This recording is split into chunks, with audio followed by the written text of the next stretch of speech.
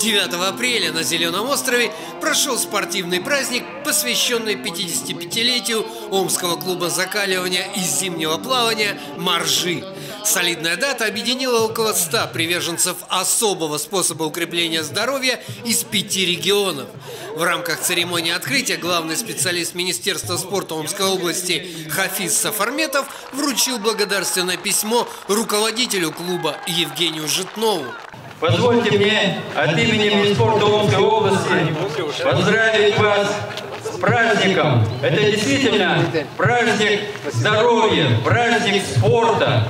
Это праздник общения, встречи старых и новых друзей праздничное настроение, когда приезжают такие друзья и хотят принять участие в поздравлении в наших мероприятиях. Это волна радости, приятного ощущения, что у тебя такие есть хорошие единомышленники. Дружеское состязание прошло по программе моржового троеборья, в которое входят бег и два вида плавания – личные соревнования и эстафета.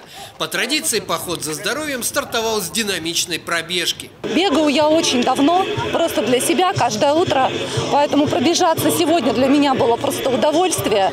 Главное не избавлять темп, выбрать темп и бежать, ничего, ни о чем не думая. Главный экстрим в заплывах концентрация воли, уверенность в своих силах и смелое движение вперед. На практике весенняя вода самая холодная, плюс 2 градуса, но все с лихвой компенсируется на выходе из полыньи. Весеннее солнце, потрясающее ощущение и польза для здоровья. На коже находится масса рецепторов. Охлаждая их, вы даете всплеск, зарядку всем вашим внутренним органам. И при том оптом, сразу. Закаляйтесь и будьте счастливы.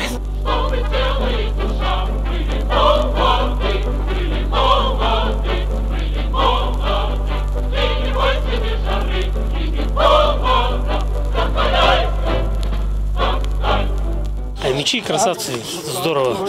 Поддерживают столько лет свой клуб, привлекают людей к здоровому жизни. Это очень важно. Польза очевидная, это здоровье.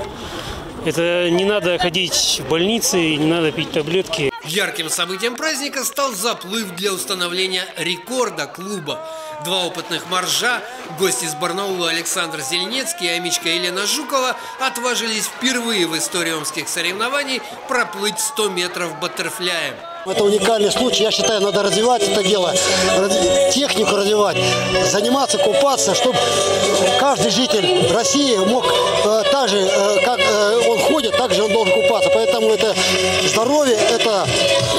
спорта сейчас становится. Я думаю, что нам, пожилым людям, молодым, надо заниматься активно зимним плаванием. Спортивный праздник завершил зимний сезон, а впереди у омских моржей участие в летних беговых событиях, в том числе и главном старте – Сибирском международном марафоне.